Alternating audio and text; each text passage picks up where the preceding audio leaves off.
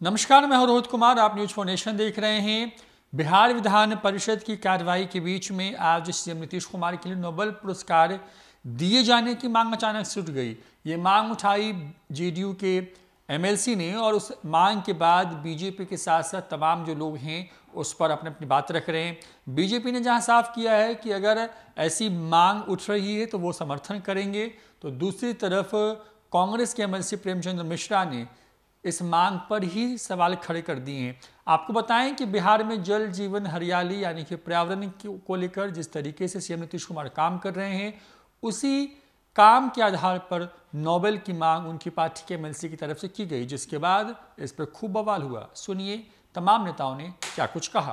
Prize के लिए मांग नहीं किया था, डिमांड नहीं किया था। मैंने ये कहा कि 2007 में क्लाइमेट चेंज के लिए काम किया यूनाइटेड स्टेट के वाइस प्रेसिडेंट ने। और उनको नोबल प्राइज़ दिया गया। उनका काम देखिए और नीतीश कुमार का काम देखिए। मैंने हाउस को ये एलोबरेट करके बताया है कि भाई 12 करोड़ बिहार के लोग एक मिशन के तौर पर अगर क्लाइमेट चेंज को ले रहे हैं और इसमें काम कर रहे हैं तो ये मेरे ख्याल से जिनको नोबल प्राइज़ इससे पहले दिया गया 2000 से उससे बहुत ज़्यादा बड़ा काम है और इस पर गौर करना चाहिए कि क्यों नहीं बिहार को नोबल प्राइज़ दिया जाए। और इसके लिए प्रस्तावना भेजना चाहिए हमको। ये बात थी आपने ज़िक्र किया कि जब माइक्रोसॉफ्ट के जो सुप्रीमो हैं जो आए थे यहाँ पर तो सीएम नीतीश कुमार से उन्होंने बात की पूरी विस्तार से आपने ज़िक्र किया था क्या क्लाइमेट चेंज? नहीं मैंने बात नहीं की थी। यानी जो बिल गेट्स के बारे में मिस्टर बिल गेट्स के बारे में जो बात है गेट्स फाउंडेशन के चेयरमैन उन्होंने दिल्ली में मीडिया के लोगों से जो ऑन रिकॉर्ड है सब हाँ। मौजूद है उन्होंने ये कहा कि मुझे यकीन नहीं हो रहा था कि मैं पटना में मुझे लग रहा था कि मैं या तो लंदन में हूँ पेरिस में हूँ या वाशिंगटन डीसी में हूँ। नीतीश कुमार क्लाइमेट चेंज पे बात कर रहे थे और इतनी ज़्यादा बेदारी बिहार में आई है। यानी ये कोई मामूली रिकग्निशन नहीं है। एक बात समझिए। अगर कोई पॉलिटिकल आदमी किसी की तारीफ़ करता है तो उसकी वजह हो सकती है कि भाई इस वजह से कर रहा। लेकिन मिस्टर बिल गेट्स, जो गेट्स फाउंडेशन के चेयरमैन है पूरी दुनिया में घूमते हैं, अगर वो नीतीश कुमार की इस विज़न की तारीफ़ कर रहे हैं और इंटरनेशनल मीडिया के सामने कर रहे हैं तो इसका मतलब वाकई बहुत सीरियसली काम यहाँ पे हो रहा है। और ये तारीफ़ सिर्फ़ नीतीश कुमार की नहीं है पूरे बिहार वालों की तारीफ़ है। क्योंकि पूरे बिहार वालों ने इसको मिशन के तौर पे लिया है। नहीं इसी साल से जो सीएम नीतीश कुमार की योजना है उसकी शुरुआत की गई लेकिन आप अभी से ही कहने लगे कि नोबेल प्राइज़ मिल जाना चाहिए।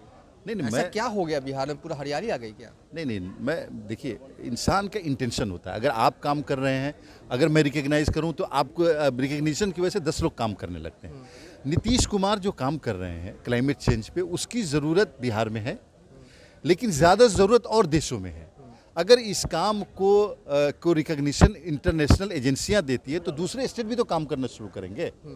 इसलिए मैं मैं इसलिए नहीं कि आप मैं ये चाहता हूँ कि ये काम और जगह पे भी होना चाहिए और कंट्रीज़ में होना चाहिए और स्टेट में होना चाहिए दूसरे स्टेट में भी होना चाहिए। नोबल प्राइज मिल जाएगा तो और हरियाली नहीं हरियाली नहीं आएगी। मतलब रिकग्निशन मिले। रिकग्निशन मिलता है तो दूसरे स्टेट भी कर दूसरे लोग करना शुरू करते हैं। ये अपने आप में हास्यास्पद है। पर मैं समझता हूँ जेडीयू के लोग हैं तो स्वाभाविक है, नीतीश जी के लिए कुछ भी कह सकते हैं। लेकिन जिस जल जीवन, हरियाली और पर्यावरण के नाम पर वो बता रहे हैं कि बहुत उल्लेखनीय काम नीतीश जी ने किया है, इसलिए उनका नाम नोबेल पुरस्कार में जाना चाहिए तो मैं समझता हूँ ये अपने आप में एक मज़ाक है। बिहार में लगभग दस हज़ार से ऊपर ऐसे तालाब हैं, जो पिछले पाँच दस वर्षों में अतिक्रमण करके लोगों ने उस पर अपना मकान बना लिया, दुकान खोल लिया, व्यवसायिक काम हो रहा है। तो जल जीवन को प्रभावित किन लोगों ने किया जिन्हें सत्ता का पुलिस प्रोटेक्शन रहा है। आप तालाब को भर के अपना मकान बना रहे हैं। आज आप जल जीवन को लेकर चिंतित हो रहे हैं और इस पर कह रहे हैं कि उन्हें नोबल पुरस्कार मिलना चाहिए। तो ये अपने आप में हास्यास्पद है। अब ऐसे लोग क्यों इस तरह की बात कर रहे हैं? मैं समझता हूँ, बिहार में प्रदूषण और जल जीवन दोनों को लेकर अगर बुरी स्थिति हुई है इसके लिए नीतीश जी और उनकी नीतियाँ जिम्मेदार हैं। पटना में प्रदूषण के लिए बड़ा कारण है कि अनकवर्ड कंस्ट्रक्शन हो रहा है। ये सरकार का दोष है। आपके चलते धूल धूलकन प्रदूषित हो रहा है। पटना में 400 से ऊपर हमारे दूषित वायु लेने के लिए हम ऊपर हैं, जो उसका माणक है। दिल्ली और गुड़गांव से बुरी स्थिति, पटना में और बिहार में है। और ऊपर उनको आप उसके लिए उपलब्धि मानते हैं और नोबल पुरस्कार देना चाहते हैं। तो मैं समझता हूँ, अगर ऐसे नोबल पुरस्कार मिलने लगेगा तो एक समय है कि नोबल पुरस्कार की महत्ता, गंभीरता सब खत्म हो जाए। नीतीश कुमार जी बढ़िया काम कर रहे हैं। उनके उनके प्रशंसक हैं हमारे माननीय विधान पार्षद महोदय। तो उन्होंने नोबेल प्राइज़ का मांग कर लिया। नोबेल प्राइज का तरीका जो होता है वो तो दूसरा होता है। तो इस पर क्या कमेंट लीजिएगा? उचित रहेगा? उन लोगों का मांग उचित है काफ़ी हरियाली के लिए काम हो रहा है नहीं काम तो कर रहे हैं इसमें कोई संदेह नहीं कि बाकी राज्यों के मुकाबले बिहार राज्य में जलवायु परिवर्तन को बहुत अधिक महत्व दिया जा रहा है। एक दिन देखा होगा आपने सेंट्रल हॉल में दोनों सदन के लोगों को बिठाकर काफ़ी विचार विमर्श हुआ था उस पर काम भी हो रहा है। आज भी दस बजे से विचार विमर्श हुआ।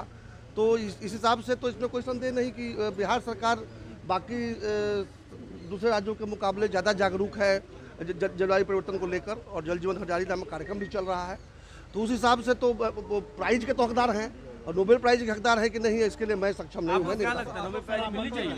नोबेल प्राइज इन चीज़ों को नहीं मिलता है इसलिए अब ये इस प्रश्न को ज़्यादा ही खींच रहे हैं आप लोग। छोटा सत्र था रावी देवी जी नहीं दिखी। अब क्या बात है पिछली बार पिछली बार बड़ा सत्र बड़ा सत्र था तो तेजस्वी जी दिखे थे क्या? तो ये चलते रहता है कभी वो दिखेंगे तो ये नहीं दिखेंगे कभी ये दिखेंगी तो वो नहीं दिखेंगे। जनता के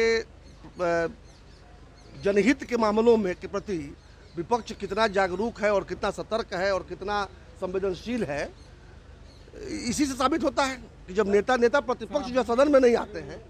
सर अगर अगर प्रस्ताव लाती तो क्या बीजेपी आप ज़रूरत ज़्यादा नहीं खींच रहे हैं इसको। ये आपको समझ में नहीं आया कि एक प्रशंसक ने एक बात रख दी। अब ये कहाँ वहाँ तक पहुँच रहा है कि कोई कोई ला रहा है और कोई समर्थन देगा? नहीं, नहीं, स- सदन में एग्ज़ाम्पल भी देके बताया था कि कुछ लोगों को मिला था तो आएगा तो समर्थन कर देंगे सहयोगी दल है तो हम विपक्ष में थोड़ी जाएँगे। समर्थन तो देवे ना करेंगे जी। ये तो बिना बिना ये तो बिना पूछे है। ये कौन सी बड़ी बात हो गई?